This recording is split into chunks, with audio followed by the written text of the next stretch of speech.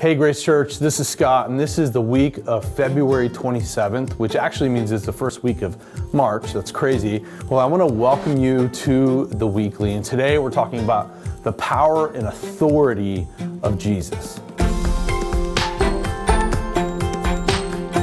As you know, we've been talking through the Gospel of Mark.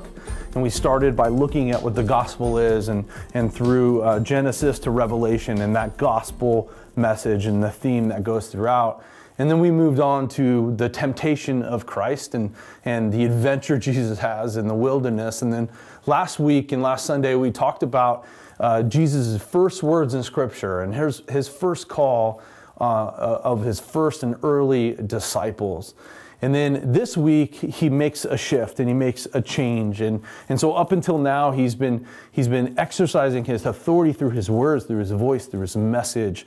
And then he starts through his disciples. And so in this week though, it makes a shift because in verses 21 through 34, as we talked about on Sunday, we see Jesus in action. So, not just words, but in action. And so, we see that Jesus is teaching in a Sabbath service in a synagogue.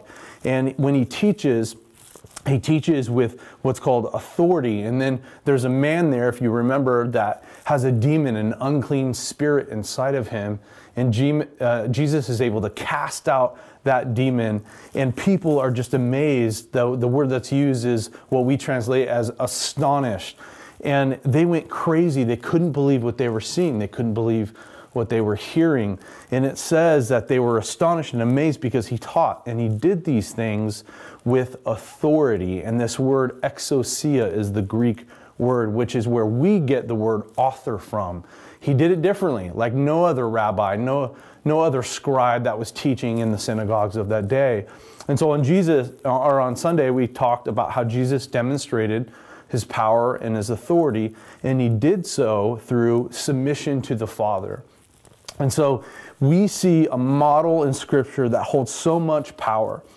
Um, so much power through the way this early church gathered in the large gathering and then in the ministry at home, and how the two are integral, not one without the other. And so uh, the challenge for us is to ask ourselves are we doing both of those things? Are you coming once in a while to church, or, or you're coming to, on Sundays, but you're not connected in a home, in a small group, or a connect group as we call them here at Grace? And so that's our challenge. And then the second piece of that is what areas of our life have you given yourself or others authority over you uh, outside of Jesus and giving him the authority. And so, what are those areas? You know, Jesus performed miracles and he spoke in a way that no one had ever heard. And those miracles and that authority and that power we can have today in 2022, but we are reluctant to give him that throne over our lives, to give him that power and authority over different areas of our lives.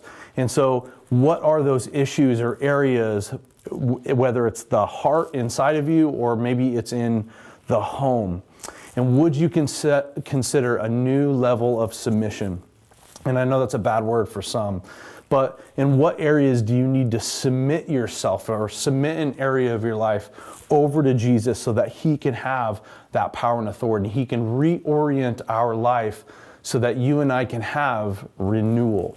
On this Wednesday marks the beginning of what we have been t- talking to you about Lent, the season of Lent, where we're going to spend the next 40 days from Wednesday on leading up to Easter devoting and committing ourselves to Christ, where we're calling this the great exchange. We're giving up something, whether it's fasting, fasting from food, or abstaining from certain things in order to commit our lives to Christ. And so we where we have a need and we regularly go to something, instead of that, we're exchanging for something better, and that's our relationship and to know Jesus more. And so we want to invite you to daily pray, to go through the devotional that we gave you on Sunday and commit yourself, do it daily, fast, commit your life to Christ in a new way.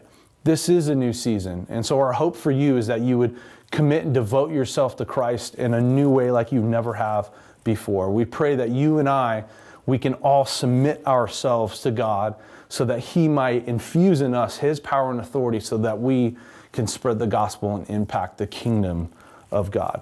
We love you, Grace Church. We're praying for you, and we pray that this would be the beginning of a new season for you and for our church here at Grace.